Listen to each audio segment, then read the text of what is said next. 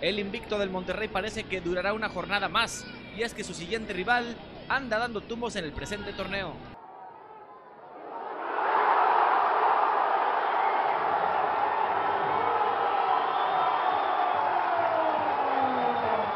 Los jaguares de Chiapas apenas suman dos puntos de 15 posibles, vienen de dos derrotas consecutivas y las posibilidades de que salgan con vida del TEC son escasas. Pero la historia dice que el inmueble del Cerro de la Silla le sienta más que bien a los chiapanecos y prácticamente se han sentido como locales cada vez que juegan en este escenario. Del Jerry, remate, gol.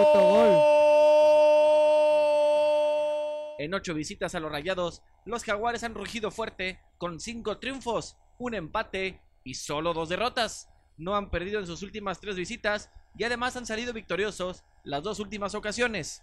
Es cierto, enfrentarán a un Monterrey que no ha perdido en sus últimos 13 juegos como local en temporada regular, pero los Jaguares se pueden jactar que fueron el último equipo en doblegado a los Regios en su casa en esta fase al imponerse 2-1 en la jornada 12 de la Apertura 2009. Este encuentro tendrá otro ingrediente extra. Neri Cardoso y Diego Ordaz se enfrentarán a sus ex equipos.